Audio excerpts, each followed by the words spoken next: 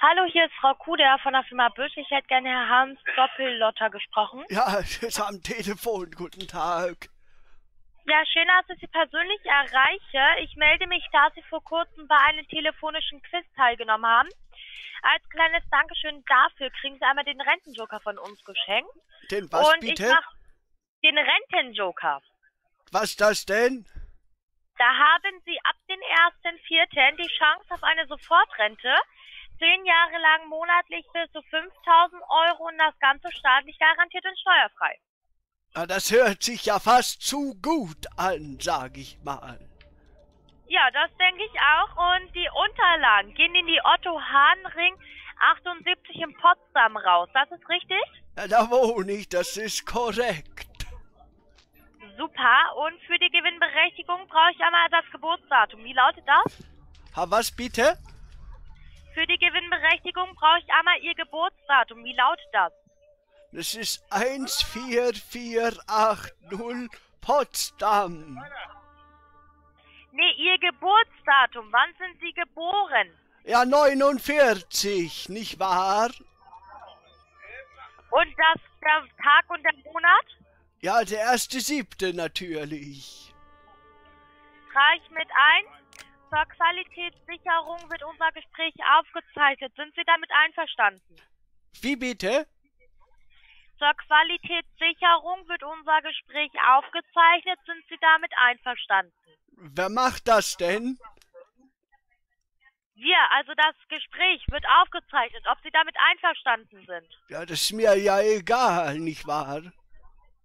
Okay, und wir dürfen Sie doch bestimmt auch zukünftig über weitere interessante Gewinnspiele informieren, oder? Über was bitte? Über zukünftige interessante Gewinnspiele. Ja, die habe ich ja mitgemacht, nicht wahr? Ja, ob wir Sie informieren dürfen. Ja, ja, natürlich doch. Super, dann haben Sie ab den 1.4. die Chance auf eine Sofortrente. Zusätzlich schütten wir noch ein paar schöne Bargeldbeträge aus, die in hohen Hunderter- und Tausenderbereich sind. Ja, junge Frau, können Sie ein bisschen langsamer sprechen? Das ist schwierig, Sie zu hören. Ja, tut mir leid, also, ab den 1.4. haben Sie die Chance auf eine Sofortrente Ja, und zusätzlich dürfen Sie bei unserer neuen Aktion teilnehmen und da bin ich persönlich für Sie verantwortlich. Schreiben Sie sich bitte einmal meinen Namen und die Telefonnummer auf. ja. Haben Sie was zum Schreiben? Äh, Wie bitte? Haben Sie was zum Schreiben da? Ja, habe ich immer am Telefon liegen. ne? Das kann ja mal was Wichtiges kommen. Genau, mein Name ist Emily. Ja, Der Nachname ist Kuder. Ja, wie schreibt man das? Kaufmann Ulrich Dora Emil Richard. Ja, das ist schön, dass junge Menschen dass das äh, Buchstabieralphabet noch korrekt können. Ja, muss ich ja, ne? Das ist ja nicht selbstverständlich heutzutage.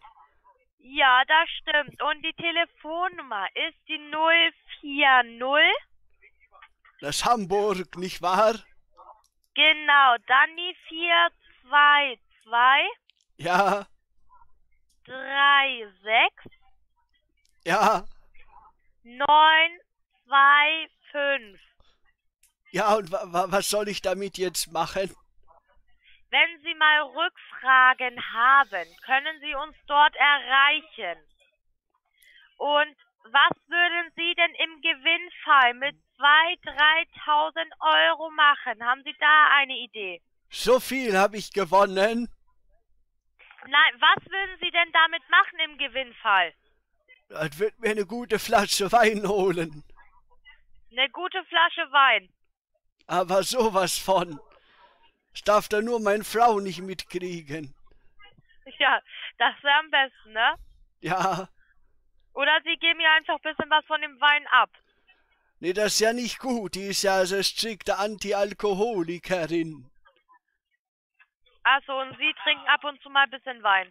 Also mal ab und zu mal ein bisschen mehr. Das ist ja im Prinzip das Problem bei der Angelegenheit. Aber werde in mein Alter ja nicht noch anfangen, mich da bevormunden zu lassen.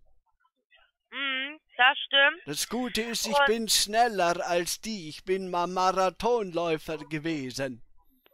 Marathonläufer waren Sie. Ja, Ja, das hört sich doch cool an. Haben Sie auch viele Preise gewonnen? wie bitte? Haben Sie auch viele Preise gewonnen? Äh, ja, das, das hält sich in Grenzen, weil so der, der, der Wein ist ja doch oft, oft verführerischer gewesen. Also, wieso sind Sie kein Marathonläufer mehr oder wie lange waren Sie? Also, seit so 35 Jahre habe ich das, glaube ich, schon gemacht. Ja, das hört sich doch schön an. Weil, sag ich mal, da zwischen, West- und, und Ostdeutschland, da musste man schon schnell sein, wenn man da rüber wollte, zwischendurch. Ja, das stimmt. Da musste man flinke Füßchen haben. Genau. Ja, Und Herr Doppellotter, alle Gewinne das, das, das spricht sich Doppelotter, wie der Otter, Oder Doppelotter, wie der Entschuldigung. Otter, der in den Fluss rumottert. Genau. Entschuldigung. Und Alles alle. Gewinne, alle Gewinne im Gewinnfall überweisen wir auch innerhalb der wenigen Tage immer aufs Konto von Ihnen. Was darf ich denn da einmal für Sie eintragen? Sind Sie da bei einer Bank oder bei der Sparkasse? Sie sprechen schon wieder so schnell. Ich habe nur 36 Prozent verstanden. Alle Gewinne im Gewinnfall überweisen wir innerhalb der wenigen Tage immer aufs Konto von Ihnen. Wo dürfen die Gewinne im Gewinnfall hin? Zu einer Bank oder zur Sparkasse? Also ich gehe ja nicht mehr aus dem Haus. Ich mache das alles mit dem, mit dem Internet, nicht wahr? Ja, ist doch auch in Ordnung. Ja, Bei welcher Bank sind Sie denn? Sparkasse, ja, ich bin ja, Commerzbank? ich habe mich ja im Prinzip, bin ja so ein halber Cyborg inzwischen. Ich habe mich digitalisiert und ich nutze jetzt PayPal. Also Sie haben ja trotzdem ein Konto. Ja, das ist halt so pro forma, nicht wahr? Dass ich halt meine Rente Ja. kriege, weil die wollen mir das nicht in Bitcoins Genau. ausbezahlen. Genau. Ein Girokonto. Bei welcher Bank sind Sie denn? Nee, ich bin jetzt zu Hause. Nein, wo haben Sie das Girokonto? Ja, ja, das muss man ja haben, das ist schon richtig. Genau. Und Ich wo ist es- das? Bei der Sparkasse, Volksbank? Ja, genau da. Volksbank? Nee, nee, mit denen will ich ja nichts zu tun haben. Bei Die der haben ja- Sparkasse. Die haben ja meinen Hund getötet damals. Ich habe nicht mal Entschädigung bekommen. Okay. Das kann ich verstehen. Also bei der Sparkasse. In nee, nee, Potsdam. nee, die, nee, die haben ja den Hund ermordet. Den Harry. Ach so, Peter Harry. Dann die. Volksbank. Na, das sind ja genauso Verbrecher. Okay, und wo ist denn Ihr Konto? Ja, also das ist Ihre in, Bank? ja, die ist in der in der Mariendorfer Damm 179. Ja, und was ist das für eine Bank? Na, mit Girokonto. Das, das ganz Nord, Ja, ist nichts aber wie heißt- Spezielles. Wie heißt die Bank? Ja, Commerzbank? nee, nee, das ist ja die Postbank. Die Postbank. Okay, Ja, ja. super. Das und, und welche Bank favorisieren die jungen Menschen heutzutage? Bin ja lange nicht mehr im Dorf gewesen, um mich da umzuhören. Vielleicht gibt's da was Besseres inzwischen.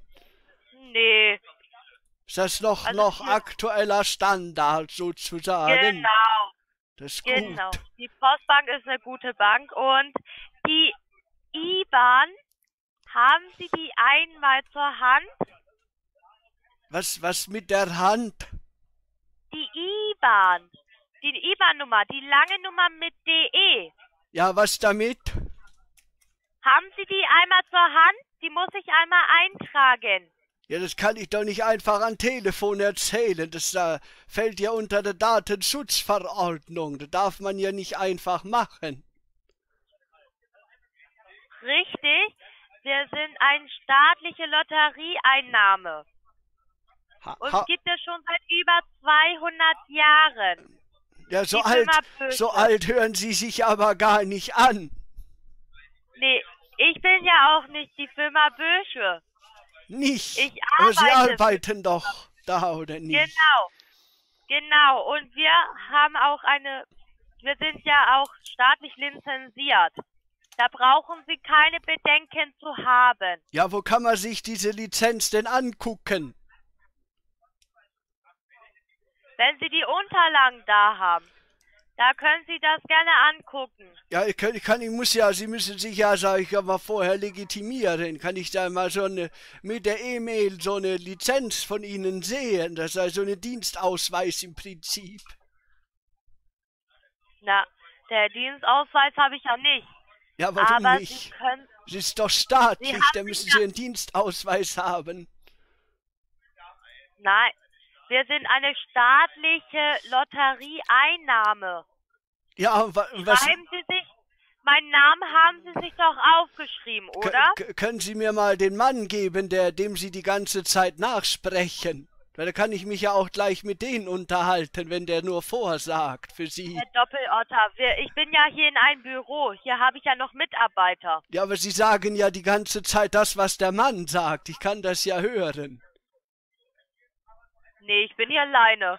Also alleine an meinem Platz. Ja, dann sitzt er halt einen Meter hier. weiter.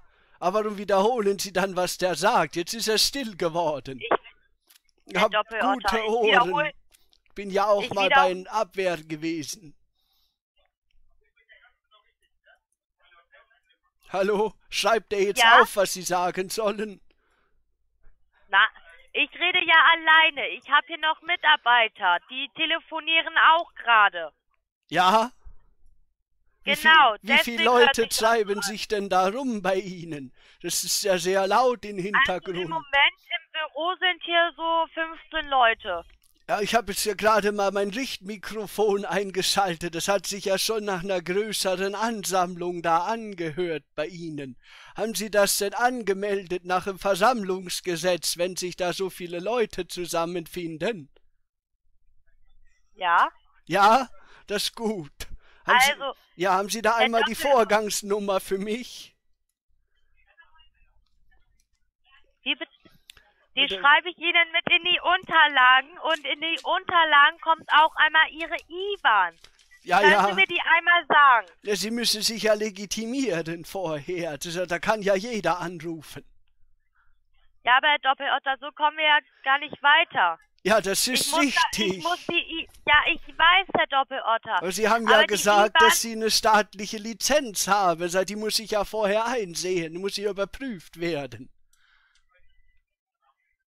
Die Unterlagen kommen ja in einer Woche. Da steht alles für Sie drinne. Aber da gehört die IBAN auch mit dazu. Die brauche ich einmal. Sonst ist ja- kann ich die Unterlagen nicht rausschicken. In einer Woche ist das Kind ja aber schon in Brunnen gefallen. Man muss das ja vorher wissen. Das sind ja, wir sind ja nicht alles hier Verbrecher. Das, das haben Sie jetzt gesagt. aber immerhin haben Sie mich angelogen. Wo habe ich Sie denn angelogen? Ja, gleich an Anfang, da haben Sie gesagt, ich hätte bei einer telefonischen Umfrage teilgenommen. Das ist ja gelogen gewesen. Ja, haben. Nee, haben Sie ja. Na, hab Am ich nicht. Habe ich nicht getan. Wo soll das denn gewesen sein? Am, ein, weiß ich nicht. Am Telefon. Wurden Ja. Sie angerufen und da waren zwei, drei Fragen. Nee, bin ich. Bin ja bei der Dialyse gewesen. Mit dem Dialysegerät kann man nicht telefonieren. Ja, Sie müssen doch wissen, wo Sie die Daten herbekommen. Ein staatliches Unternehmen. ja. Nicht, dass die aus dem Schwarzdatenhandel im Internet Ja. kommen. Ja, dann. Sie haben sich ja die Telefonnummer aufgeschrieben, dann rufen Sie da einfach einmal an. Ja, und was und können die mir dann sag mal, diese, diese Lizenz, können Sie mir die nicht schicken? Einmal per Ja, alles, E-Mail. was Sie wissen möchten. Ja, das ist dann, sag ich mal, meine E-Post-Adresse ist traumpanda49 at gmail.com. da können Sie mir das einmal rausschicken, dann ist das ja alles kein Problem im Prinzip. Ja, ist okay, dann wünsche ich Ihnen noch einen schönen Tag. Ja, also bitte nicht andere Leute auch noch anlügen, ja? Ja, Ja, tschüss. Die, die glauben das vielleicht. Das ist nicht sehr freundlich. Nee, nochmal. Ich habe Sie noch, ich habe Sie nicht angelogen, aber ich wünsche Ihnen noch einen schönen Tag und eine schöne Restwoche. Tschüss. Ja, suchen Sie sich mal eine anständige Arbeit, hat die aufgelegt. Von wegen staatliches Unternehmen. Meine Güte.